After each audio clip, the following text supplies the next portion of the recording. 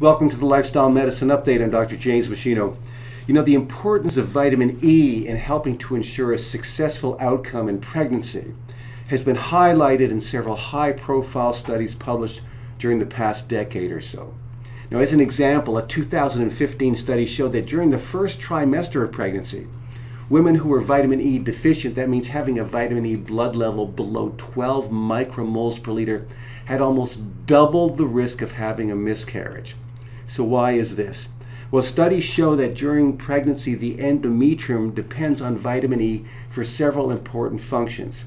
In the first trimester of pregnancy, vitamin E stimulates the synthesis of interleukin 6 and what's known as VEGF, which are required to bring new blood vessels into the endometrium, improving endometrial conditions for proper implantation of the embryo, and to modulate important aspects of immune function so that the embryo won't be rejected by the mother's body. Now, during pregnancy, blood flow to the uterus is increased dramatically to meet the rising demands of the growing fetus. The secretion of VEGF is a key factor in facilitating the growth of new blood vessels into the endometrium, and VEGF secretion is dependent on adequate vitamin E status within the mother's body. As such, inadequate vitamin E status by the mother's body during the first trimester of pregnancy has been shown to increase the risk of miscarriage. Now, consistent with this finding are animal models, which have clearly shown that providing animals who are bred to have a high risk for miscarriage with 15 milligrams of vitamin E daily greatly reduces miscarriage rates and it increases placental levels of interleukin 6 and VEGF. Now, not only does the mother's body require adequate vitamin E status for a successful pregnancy, but the developing fetus also requires sufficient vitamin E for proper brain development and to decrease the risk of certain respiratory conditions, including asthma. So vitamin E also result, or vitamin E deficiency rather, also results in lipid peroxidation and it increases the turnover of choline, which robs the fetus of adequate choline for methylation purposes. You're saying, what does this mean? Well, most women know that folic acid is required to prevent spina bifida and other neural tube defects during pregnancy. And this is because folic acid, this B vitamin, is required for methylation reactions by the fetal body. So the fetal body also needs choline for methylation reactions, and lack of choline due to vitamin E deficiency puts the fetus at risk for many of the same brain and spinal cord problems as insufficient folic acid, according to a 2020 study. Insufficient vitamin E also increases the amount of free radical damage that occurs to the fetus brain and body during its development. And vitamin E is an antioxidant that quenches free radicals to limit the damaging effects.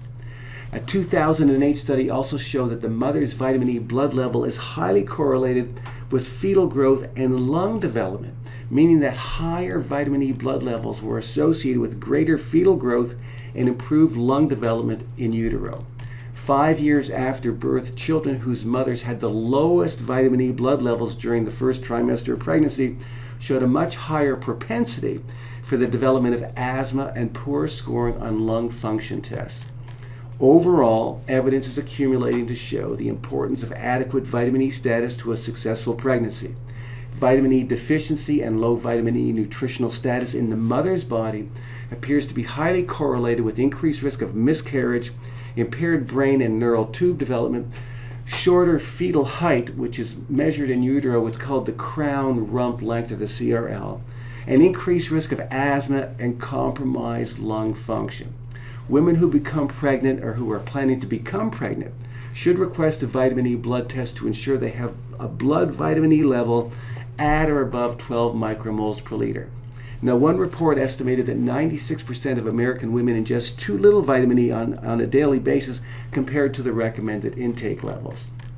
At the same time, it's important to point out that overt vitamin E deficiency, a really severe vitamin E deficiency, is very rare in modern society. People with malabsorption problems due to intestinal ailments are most susceptible to severe vitamin E deficiency as a rule. However, the National Health and Nutrition Examination Survey Part 3 reported that about one third of all American participants had blood concentrations of vitamin E below 20 micromoles per liter. So they used 20 micromoles per liter as the cutoff because originally studies showed that if your blood level of vitamin E was higher than that, it may reduce risk of cardiovascular disease. In the end, I think that women who are planning to get pregnant or who, or who become pregnant should request a vitamin E blood test. Alpha tocopherol is the test you're looking for to ensure that their blood level is at or above 12 micromoles per liter, or more preferentially, I think, above 20 micromoles per liter. So I've interspersed the references for this information throughout the text. Thank you for watching, and I'll see you next time.